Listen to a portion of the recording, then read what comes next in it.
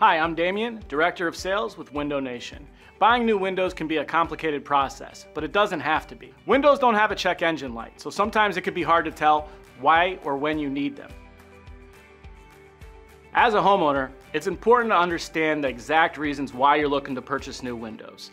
There's typically three different reasons why you would need to purchase new windows. Number one, the easiest to tell for most homeowners, is the operation of the windows.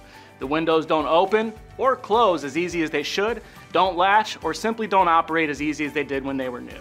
The second biggest reason why people will purchase windows is the energy efficiency properties that the windows add to your home.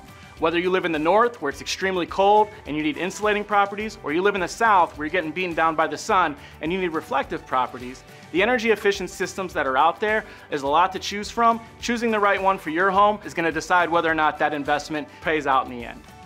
The third reason why people buy windows is the most obvious from the outside, is the cosmetic value that they give. Having new windows gives a big appeal to your home. They're fun to enjoy. There's lots of choices out there, and they give you a return on investment if you was to sell your home in the future. Another important factor when selecting a window system is how long you intend to stay in your home. The energy efficiency of the windows is going to give you a different payout over time, and the investment in the aesthetic appeal of the windows is going to give you a different return on investment when selling your home. Most windows look the same when viewed from the outside. But when you look at the cutaway of a window, you see that there's a lot of different options that go inside the making of a window.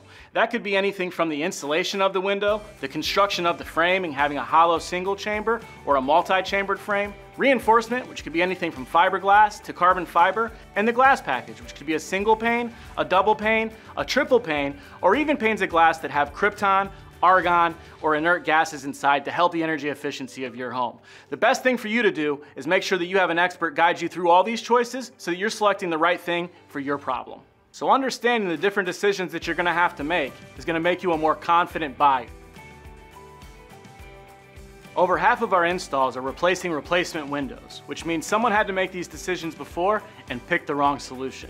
Many of the times those solutions are installed, it's not as much the solution, it's the installer. So not only selecting the window, but selecting the right installer that has the longevity and the know-how to install the window the correct way with the right products is gonna have a lot to do with whether or not that window solution is right for you. Here at Window Nation, we understand just how important it is to have the right installer, certification, and insurances when installing your windows.